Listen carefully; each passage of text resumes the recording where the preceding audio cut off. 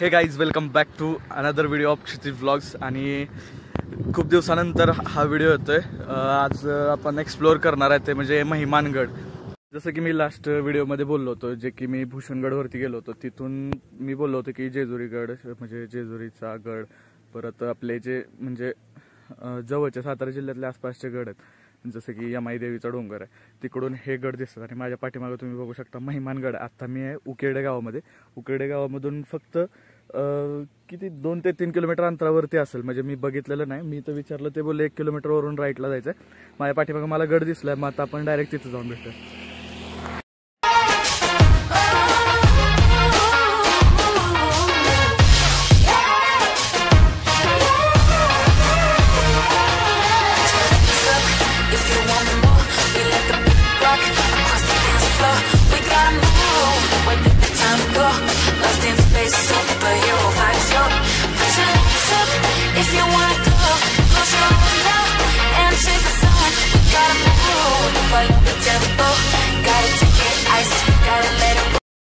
Finally मित्रांनो गडाची चढाई आता सुरू केली. तुम्ही बघू शकता दिदी वगैरे वरती गेलेत. तर आता बघतोय म्हणजे पूर्ण रस्ता असं पायऱ्या वगैरे नाहीच आहेत. पूर्ण पाय वाट आहे. तो आता निघालोय वरती. ते खूप वरती जाऊन पोहोचलेत म्हणजे दमलेत आणि त्यांना आता बसायला सांगितलंय पुढे जाऊन आता मी पण निघालोय. आता वरती जाऊन बघूया आपण कसं आहे. पूर्ण ट्रेकिंग आहे. पूर्ण पायवाट नाही म्हणजे पायवाट आहे. पायरी वगैरे अशी कुठंच नाही आहे सो जरा दम लागतोय.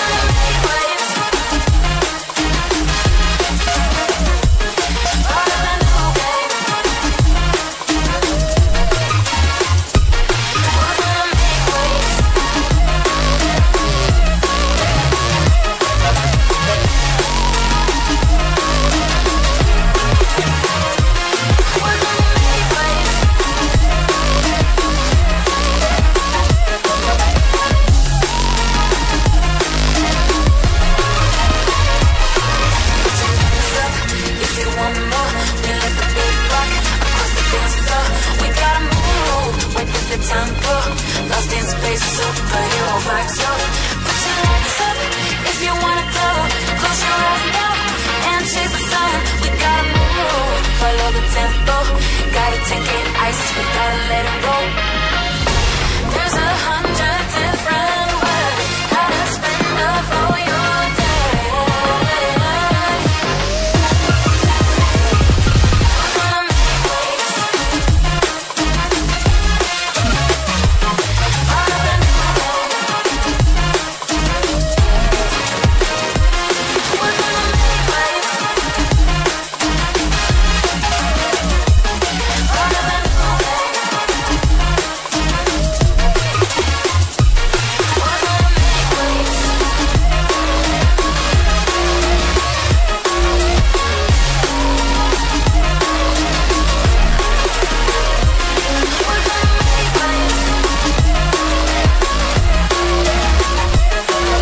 मित्रांनो आता गडावर येऊन पोहोचलोय. तुम्ही बघू शकता म्हणजे पहिल्यांदा जी गोष्ट लक्षात येते ती म्हणजे आपण भूषणगडवरती बघितलेली आणि सिंधुदुर्गमध्ये पण बघितलेली की छत्रपती शिवाजी महाराजांनी गडाची रचना अशी केलेली खास करून जी एंट्री असते गडाची जो दरवाजा असतो तो मुख्य दरवाजा आडबाजूला असतो. त्याला आपण गोमुखी पद्धतीची एंट्री बोलतो आणि इथं पण तेच पाहायला भेटतं. तुम्ही माझ्या पाठीमागे बघू शकता हे प्रवेशद्वार आहे गडाचं. आता पडलंय ते पण हा एक फक्त दिखावा आहे. हा वक्र असतो जी एंट्री आहे ते वक्र असते. त्याला आपण गोमुखी गोमुखी पद्धतीची एंट्री म्हणतो आणि ती इथं पण पाहायला मिळते.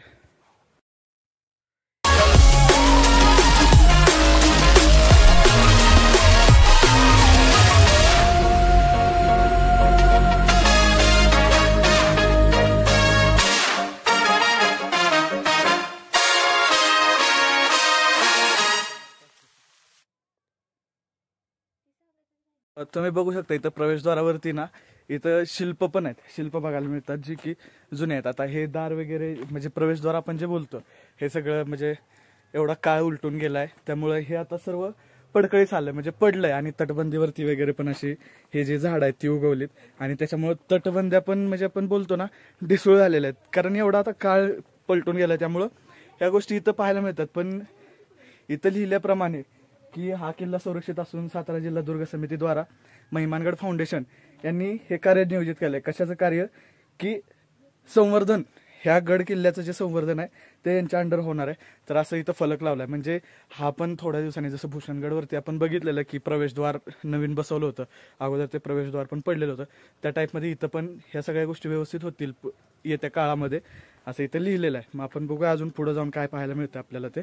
आता तर इथूनच शिल्प वगैरे दिसायला सुरुवात झाली मग आता पुढे जाऊन क्युरियोसिटी वाढते ना असं काय दिसल्यावरती की पुढे अजून आपल्याला काय पाहायला मिळेल. तर आपण पुढे जाऊन बघूया अजून काय आहे तर हे प्रवेशद्वार आहे हे कशावरून ओळखलं असेल? तर इथं आपण बघू शकतो ही जी जागा आहे हे जे प्रवेशद्वार ते मोठे जे गेट असतं लाकडी त्याचा जो कडी कोंडा असतो तो क- कोंडा लावायची जागा या ठिकाणी. मग याच्यावरून लगेच समजून येतं की इथं प्रवेशद्वार असणार आहे आणि इथली रचना पाहता असं लगेच लक्षात येतं की याच याच ठिकाणी ते प्रवेशद्वार असणार आहे आणि ते आता पडकळीस आलंय. आहे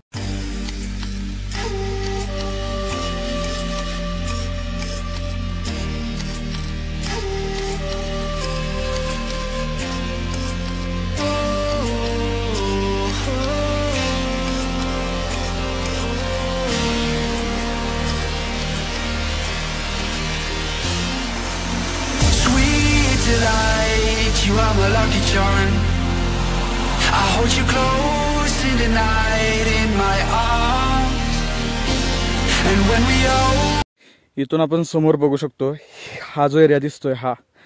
ही पूर्ण तटबंदी आहे जी की अर्धी पडलेली आहे आणि अर्धी आहे ते अजून दिसते आपल्याला म्हणजे ती पण पडकळी आली. आणि तिथून मारा करायला जी जागा असते ती सुद्धा इथून दिसते या दोन ठिकाणी. आता आपण तिकडं पुढं जाऊया. पुढं अजून काय पाहायला मिळतं ते बघूया. आणि इथे एक मंदिर आहे. हे मंदिर कशाचं हे सुद्धा आपण बघूया. My voice fade away. Cause you gave in the light of day, in the light of day.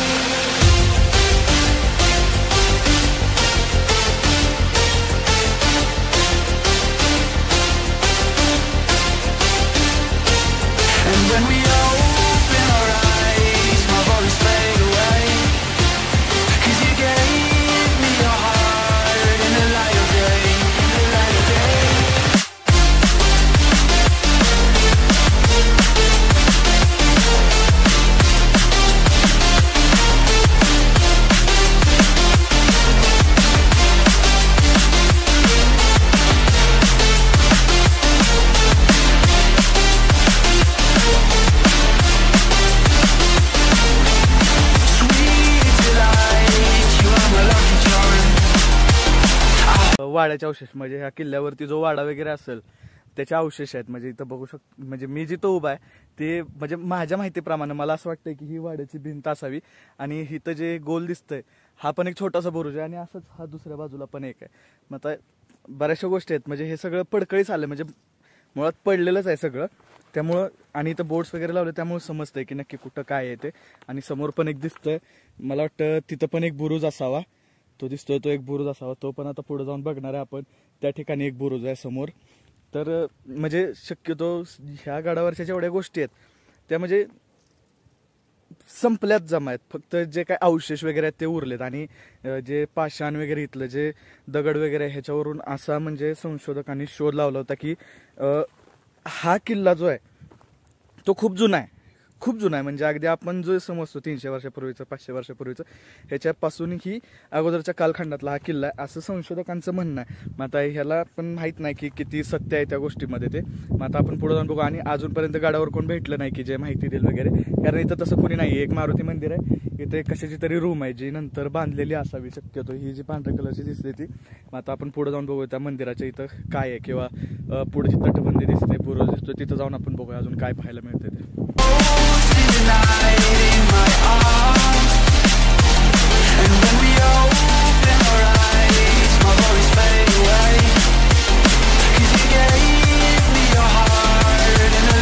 Day.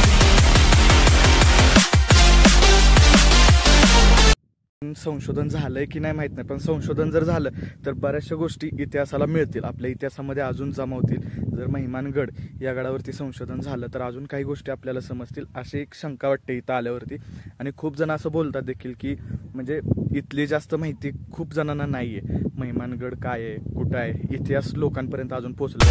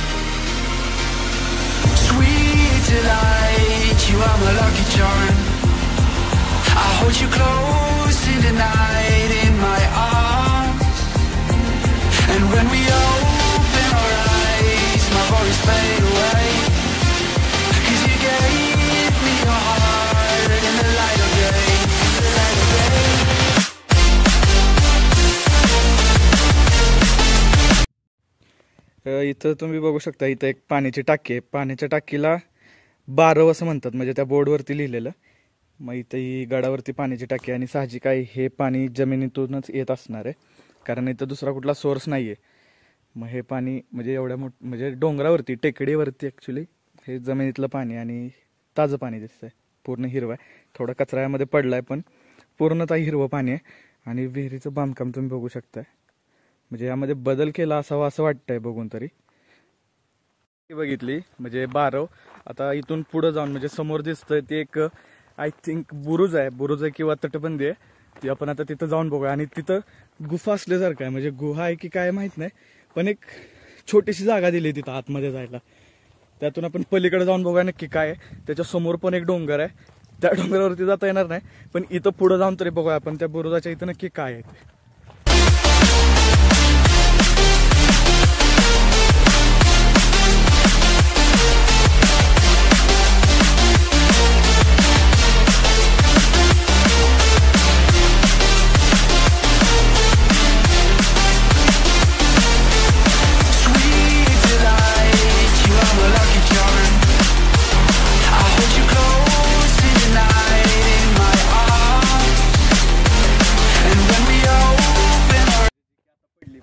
बाजूने याच्या काय नाहीये. फक्त हे हा एवढाच पाठ दिसतोय. आणि याच्यामध्ये जायला जागा दिली. म्हणजे आता माहीत नाही की हे काय आहे पण याच्या पलीकडे आपण निघालोय तर या तुम्ही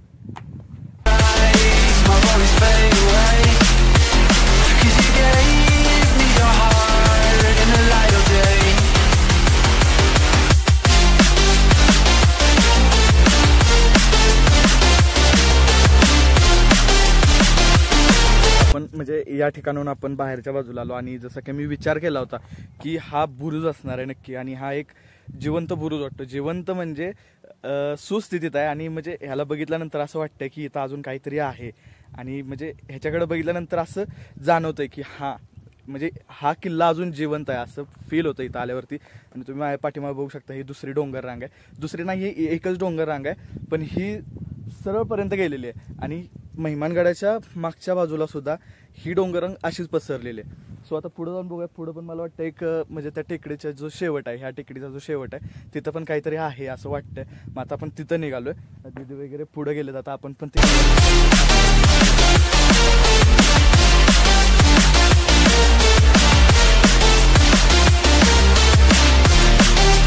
अशी आपण अ, या महिमानगडाच्या मध्ये म्हणजे जे मारुती मंदिर होतं तिकडे फिरत होतो. पण त्या ती जी जागा दिली होती तटबंदीच्या इथून आतमध्ये यायला तिकडून आल्यानंतर प्रथम हा बुरुज आपल्याला दिसला जो की म्हणजे मी बोललो सुस्थितीत आहे. आणि ह्याच्यात ह्या साईडला इथं आपण जे बघू शकतो हे तटबंदी दिसते आपल्याला इथं आणि त्याचे अवशेष आहेत. म्हणजे तटबंदी अजूनही आहे अर्धी तटबंदी आपल्याला दिसते जी की व्यवस्थित उभी आहे. पण त्यातला काहीसा भाग असा डा ढासळलेला पण दिसतोय. तर तुम्ही तिथं बघू शकता. मी तुम्हाला तिथं जाऊन दाखवतो. काहीसा भाग असा आहे जो तिथून ढासळ आहे मी तिथं जातो आणि मग तुम्हाला समजेल मी नक्की काय म्हणतो होते. मित्रांनो मी जे म्हणत होतो ते हे आहे. म्हणजे हा बुरुज बघितला आता आपण. या बुरुजाला लगतच ही तटबंदी जाते. हा इथला जो परिसर आहे म्हणजे हा भाग आहे हा ढासळ आहे आणि त्याच्या पुढं ती तटबंदी कंटिन्यू आहे. आणि पलीकडच्या साईल समोर पण आपल्याला एक बुरुज दिसतोय. म्हणजे काही भाग असा आहे जो पूर्णपणे ढासळ आणि काही ठिकाणी म्हणजे जसं की हा बुरुज आहे. तर हे औषध अजूनही जिवंत आहेत. म्हणजे बघितल्यानंतर अजूनही वाटतं की या गडाला जिवंतपणा आहे.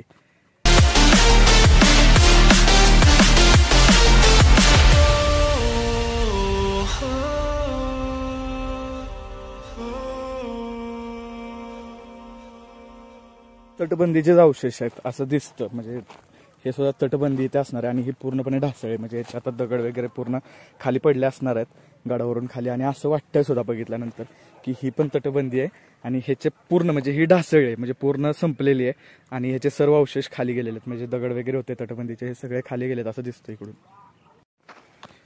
मित्रांनो आपल्याला इथं एक म्हणजे काय आहे? गुहा म्हणू शकतो बोगदा म्हणू शकतो किंवा बिळ आहे. काय आहे हे समजत नाही.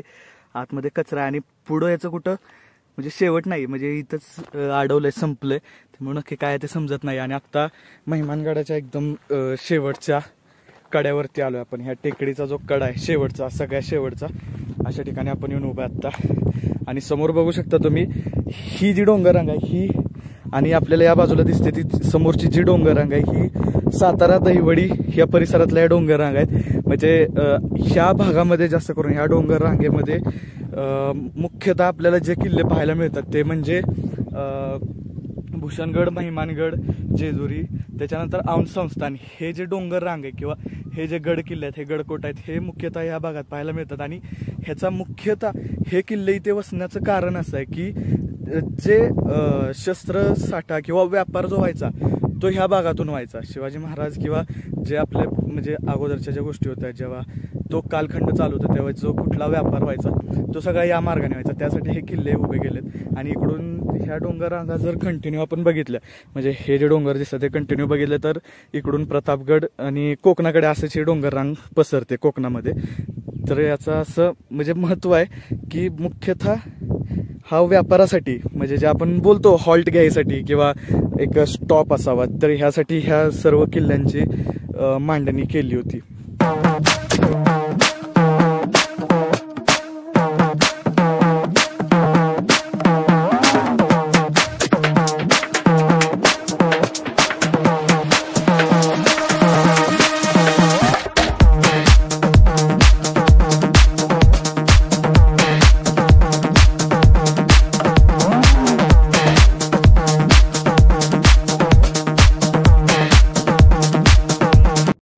फायनली मित्रांनो आता वेळ आली गड उतरायची. कारण जवळपास तीन तीन तास तरी आम्ही गडावरती फिरत होतो. खूप ऊन असताना आलेलो. आता दिवस मावळायला लागलाय. आणि माझ्यासोबत बहीण वगैरे आहेत. त्या दोघी बहीण आहेत. त्यामुळं आता गड उतरतोय. आणि नेक्स्ट व्हिडिओ पण मी असंच ट्राय करेल की एखादा ऐतिहासिक गडकोट असेल किंवा एखादा ऐतिहासिक ठिकाण असेल व्हिजिट करायला असं ट्राय करणार आहे. आणि जाता जाता मला एवढंच म्हणावं असं वाटतं की छत्रपती शिवाजी महाराजांना मानाचा मुजरा.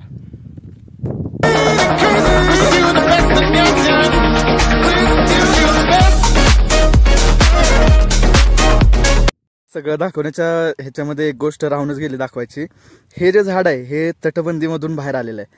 आणि हे झाड एका व्हिडिओमध्ये अगोदरच कव्हर झालंय. ते म्हणजे आपले जीवन कदम ब्लॉग्स जे के व्ही जे की बऱ्यापैकी लोकांना माहिती आहेत. तर त्यांच्या व्हिडिओमध्ये हे झाड बघितलेलं मी. आणि तेव्हा खूप छोटं होतं. त्यांनी पण हा विषय कव्हर केलेला की तटबंदीमधून अशी झाडं येतात त्यामुळं तटबंद्या ढिसवळतात तर ते लक्षात आलं म्हणून मी तुम्हाला दाखवतोय. हेच ते झाडाचे जे केवी सरांच्या व्हिडिओमध्ये दिसलं होतं.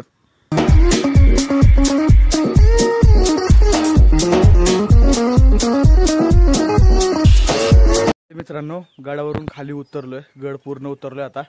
आणि आता घरी निघणार आहे. नेक्स्ट व्हिडिओमध्ये तुम्ही बघाल की असंच एखादं ऐतिहासिक ठिकाण गड गडकोट किंवा एखादं म्हणजे हिस्टोरिकल प्लेस व्हिजिट करायला ट्राय करेन आणि तोपर्यंत तुम्ही हा व्हिडिओ तुम्हाला आवडला तर लाईक करा शेअर करा चॅनलला सबस्क्राईब करा. आणि स्टेट्यून नॉन क्षितिज ब्लॉग्स जर चॅनल शेअर केला नसेल तर चॅनल शेअर करा कारण जोपर्यंत मी शेअर करणार नाही तोपर्यंत माझे सबस्क्रायबर वाढणार नाहीत. आणि हां तुम्ही शेअर कराल तरच मला फायदा होईल. So stay tuned non on Kshitij blogs thank you so much for watching bye bye